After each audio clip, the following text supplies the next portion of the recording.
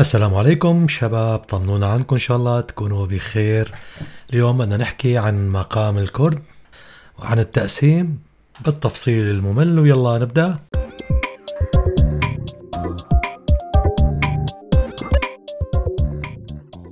أهلا فيكم أصدقائي بدنا نحكي اليوم عن مقام الكرد. شو بيحتوي وشو نحن وعم نقسم فينا نشتغل عليه بطريقة احترافية بروفيشنال بداية رح ناخده من علامة الري. آه، علامة الري أو الدوكا. بطبيعة الحال هو مقام الكرد بيكون مؤلف من مقامين الرئيسي هو الكرد وبيكون الفرعي هو نهوند من على علامة الرابعة أو من الصول. هلأ شو فينا نشتغل؟ نحن وعم نقسم. فينا نشتغل آه، عدة شغلات نحن ونقسم على المقام. نستخدم أفرع المقام نفسها. اللي آه، هي اللامي الشوق طرب طرز نوى الشهيناز أو كمان الأثر كورد. كلهم هدول فينا نستخدمهم مع المقام. حتى فينا نستخدم آه، الأفرع اللي تابعه لمقامات تانية مثلا مثل البشاير بيجي تابع للرست ومثل السيكا آه، اسمه أنفاس الطيب بيكون تابع للسيكا كمان بندخل معه كورد. للسيكا بيطلع معنا آه، أنفاس الطيب. على كل حال في شغلات مستحبة وفي شغلات منا مستحبة نستخدمها بالتقسيم. بداية رح أعطيكم كم آه، بداية. مثل ما بتعرفوا التقسيم عبارة عن بداية أو intro والوسط أو ال middle والنهاية أو ال end تبع التقسيمي فينا نشتغل نحن على كيفنا بس يفضل دائما البداية تكون أو النهاية عفوا تكون كورد إذا عم نشتغل كورد. أما البداية فيكم تبدوا كورد طبعا وفيكم تبدوا من الأفرع تبع مقام الكرد. لحتى يطلع الشغل معنا شغل محترفين لازم نشتغل على عدة أفرع أثناء التقسيمة بيطلع معنا الشغل professional إذا خلينا نبدأ ناخذ شوية إنتروات بداية. أنا حاط فوق صوت عود. ناخذ كم intro.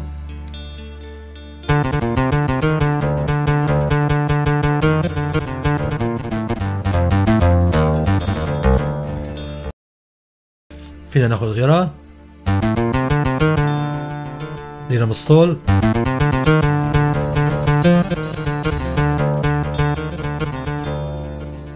فينا ناخذ من فوق مثلا.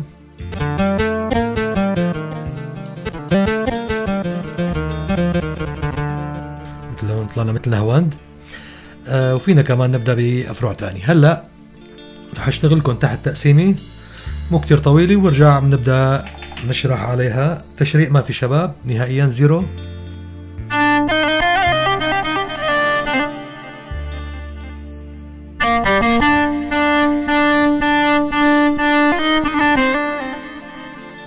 هي اعتبروها بداية. intro يعني للتقسيمة.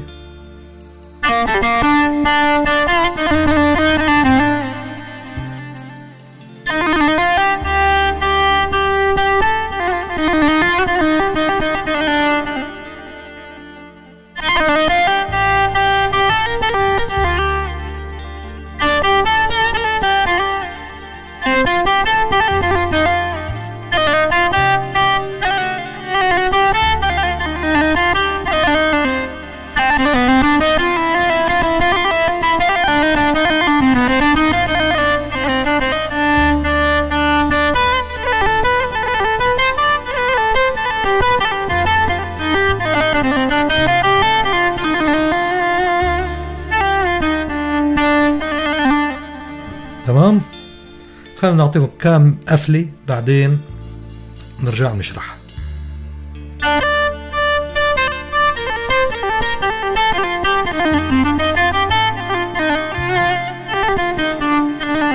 هون أخذنا نظامي نهون مع كرد ناخذه مثلا القفلة مثل اللي عملناها قبل شوي عجم صول مع كورد ري.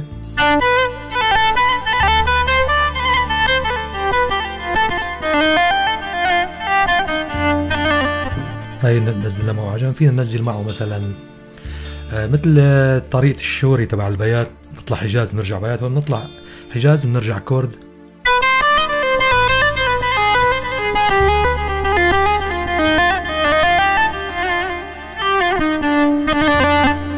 هاي آه، مع حجاز بيقولوا لها شو بيقولوا لها نوى طرز نوى بيقولوا لها مع الحجاز لما بيكون من أفرع المقام الكورد هاي.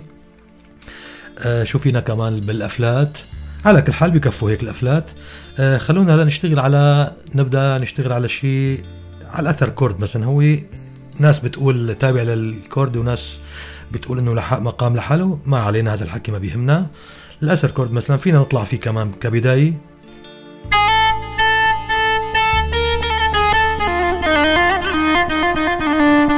هو عبارة عن شو؟ عبارة عن حجاز مع كرد ولكن مو من الدرجة الرابعة مثل الطرز نواه من الدرجة الخامسة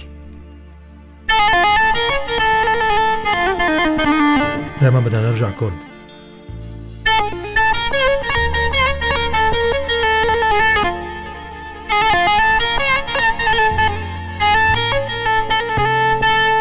هون فينا نلعب شوي على الحجاز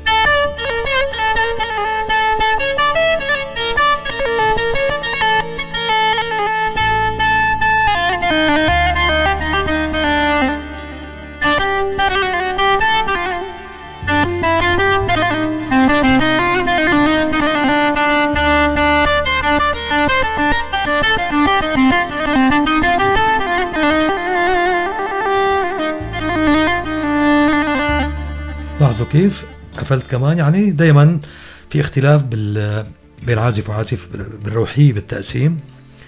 وفي اختلاف كمان لما بنغير الصوت لما بنحط كل صوت بال keyboard أو بالأورج في له طريقة للتقسيم. على كل حال اللي عملناه قبل شوي هو آه، أثر كورد كمان فينا نشتغله أثناء تقسيمنا على مقام الكورد.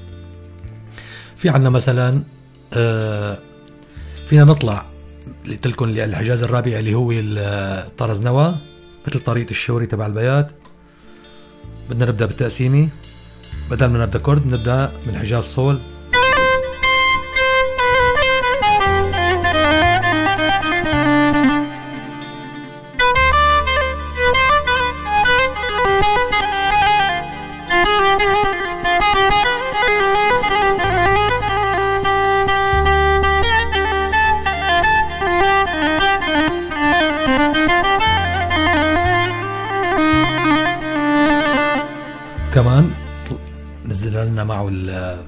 فينا كمان نشتغل آه، شو في بالكورد؟ آه، في مثلا كثير كمان آه، بينقال هو ال- اللامي عبارة عن كورد مع كورد بدل نهوند نستخدم الكورد من الدرجة الرابعة وكورد من الدرجة اللي إحنا عم نشتغل عليها.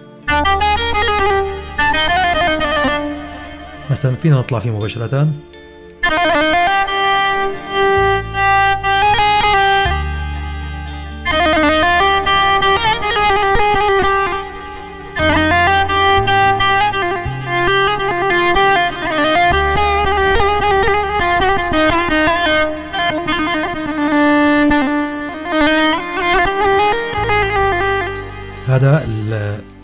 اللامي أكثر الأحيان أغلب الأحيان بتسليم بيصير على يعني القفلة على الكرد من درجة من الثاني الكرد ال- الفرعي مو الكرد الرئيسي بهذا فرع المقام اللي هو اللامي. آه، فينا نشتغل كمان في شيء هلأ مطلوب كثير اللي هو بيقولوا له الشوق آه، شوق طرب. هذا بدنا نستخدم نحن هون على العلامة الرابعة بدنا نستخدم الصبا. بدنا نشرق ال- اللا ليطلع معنا صبا الصول من على الدرجة الرابعة.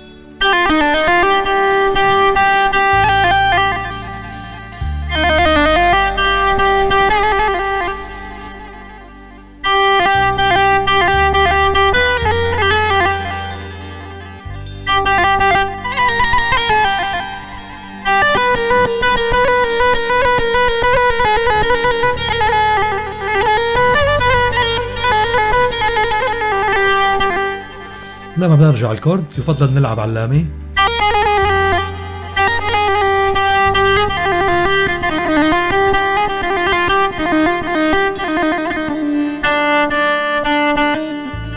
كمان فينا يفضل تسليمة تكون على العلامة الرابعة. هذا الشوق طرب هلأ مطلوب كتير عم يتغنى كتير. شو بقي عنا مثلا؟ أعطيكم شغلة يعني ولكن ما أنا مستحبة اللي هي ال- البشاير. بندخل راس مع ال- الكورد ولكن ما أنا مستحبه هاي رصد الصول طبعا بنشرق فقط السي هون.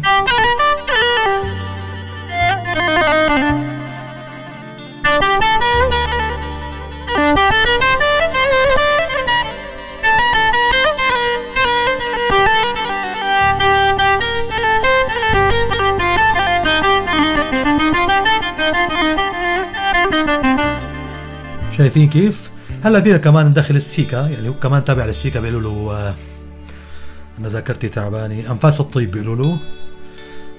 تمام؟ هو بناخده من سيكا السي وبيجي الرئيسي وبيجي آه، الفرعي هو كورد الري تمام؟ فينا ندخله كمان لما بنشتغل الراست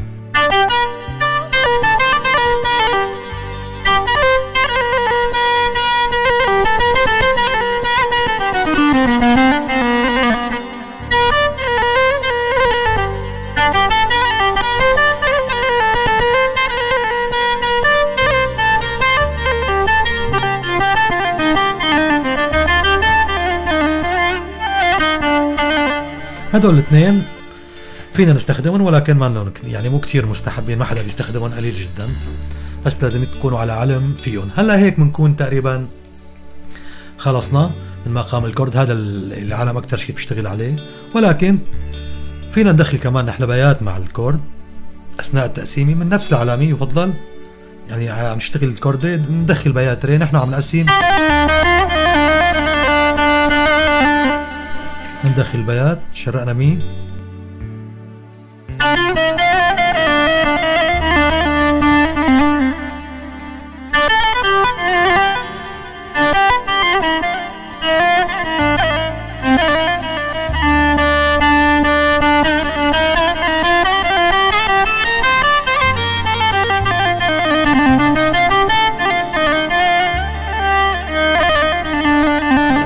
كمان شوي يعني مقبول نوعا ما. أثناء التقسيم لما الواحد بيكون هيك روحيته ماشي بالتقسيمه بيطلع معه بقى. شو بيطلع معه؟ شو بيجي على باله؟ الله أعلم. آه شو فينا كان كمان نشتغل على الصبا زمزم. آه ما بعرف هذا الصبا زمزم ما إنه تابع للكرد هو تابع للصبا العادي. ولكن كثير مستحب إن نستخدمه أثناء التقسيم على مقام الكرد.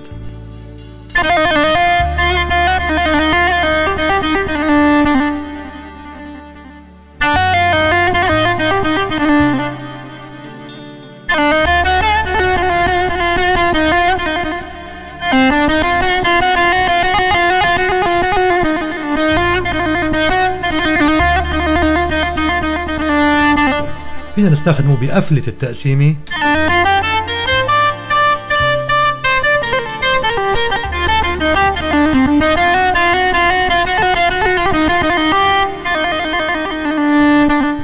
لاحظوا كيف بالقفلة استخدمت على رحت على صبا زمزم ورجعت على الكرد. فينا كمان نستخدم إذا لاحظتم نستخدم علامة ال- الفاديز والمي. نستخدمهم هيك للزخرفة فقط لا غير. لاحظوا هون مثل بداية التقسيمين نطلع فيها.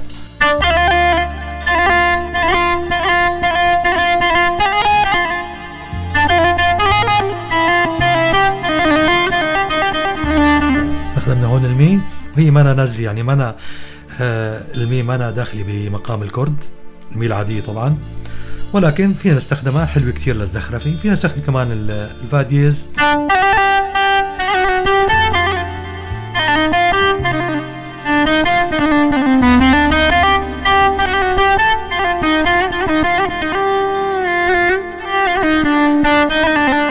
كمان هي آه، تعتبر آه، مستحبة هاي الحركات. هي والأثر كورد كمان مستحب. يعني مقام الكورد كتير هلأ عم ينشغل بهالفترة كتير مطلوب يعني. هلأ هيك بنكون خلصنا. خلينا نعمل تقسيمة طويلة شوي. اخلي التشريق مفتوح قدامي. لما بدي شرق شيء رح لكم عليه هلأ ولكن رح نبدأ بتقسيمة طويلة شوي. ودخل فيها عدة أفرع من مقام الكورد